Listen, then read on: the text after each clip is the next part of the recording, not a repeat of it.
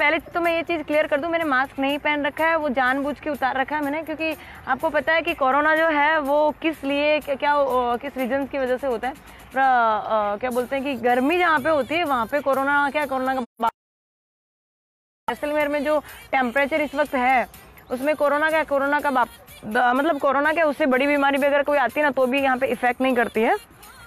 सो so, यहाँ पे mask कोई नहीं पहन रहा पर मैंने ये पहन रखा है सिर्फ़ फॉर्मेलिटी के लिए क्योंकि लास्ट वीडियो में जब मैंने पहन रखा था और सिर्फ़ कुछ टाइम के लिए नीचे किया था उसमें तो पता नहीं क्या क्या bubble news news TV local news TV channels ने या फिर मीडिया वालों ने बताया था कि भाई मास्क नहीं पहन रही ये नहीं कर रही वो नहीं कर रही। और उनके लिए बता दो कि अभी सुबह के टाइम चेक कर लीजिए क्या है और यहाँ का टेम्परेचर चेक कीजिए कि क्या है। ठीक है? तो मास्क मैंने जानबूझ के उतार रखा है क्योंकि ये सिर्फ़ फॉर्मेलिटी है, ज़रूरत नहीं है, यहाँ पे कोई भी आप लोकल पब्लिक से मिलोगे तो आप देखोगे कि यहाँ पे कोई मास्क नहीं पहन रहा है, ठीक है? मास्क पहनने की ज़रूरत ही नहीं है, सिर्फ़ जो फोर्स में है या फिर हमारे जो नियम कानून सेंट्रल गवर्नमेंट में बनाए हैं, सिर्फ़ इसलिए हम लोग को ये फॉर्मेलिटी के लिए पहनना पड़ रहा है, बाकी पहनने की ज़रूरत नहीं पड़ रही है। ठीक है? देखिए मैं कोई कंट्रोवर्सी में फंसना नहीं चाहती बट ये ये कह सकती हूँ कि आप जान, जानते हैं इस वक्त राजस्थान में क्या चल रहा है भारत में क्या चल रहा है सूरत में स्पेशली क्या चल रहा है। तो सर उन लोगों के लिए रूल्स और रेगुलेशन नहीं होते क्या सर? सब सारे रूल्स और रेगुलेशन हमारे लिए हैं क्या सर?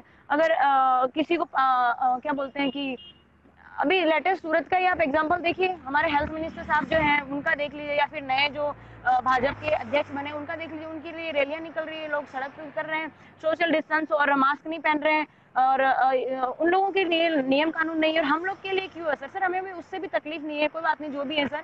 पर यहाँ देखिए कि राजस्थान में जो भी करंटली चल रहा है, जो सिचुएशन चल रही है, उसमें रोज रैलियाँ निकल रही मैं दो दिन से यहाँ पे नोटिस कर रही हूँ। रैलियाँ निकल रही जिसमें मास्क का कोई ठिकाना नहीं है। सोशल डिस्टेंस की तो बात ही मत पूछिए। मास्क तो चलो समझ सकते हैं, यहाँ पे इतना हाई टेम्परेचर है तो मास्क की तो ज़रूरत ही नहीं है। यहाँ पे कोरोना क्या कोरोना का बाप आ जाए तो भी किसी का कुछ नहीं बिगड़ना।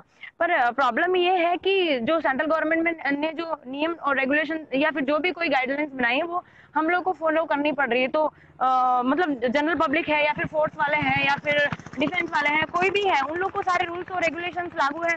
तो इन लोग को, इन लोग को क्यों नहीं है सर मुझे ये तकलीफ़ है कि अगर रूल्स और रेगुलेशन अगर आप बनाए हैं सेंट्रल गवर्नमेंट ने या फिर स्टेट गवर्नमेंट में तो या तो सबको लागू कीजिए, या फिर किसी को नहीं। ऐसा क्यों हो रहा है? ना इंसाफी क्यों हो रही है? कुछ लोगों को परमिशन मिल रही है, कुछ लोगों को नहीं मिल रही है। अब मुझे उनसे भी शिकायत नहीं, जिसको जो करना हो करे।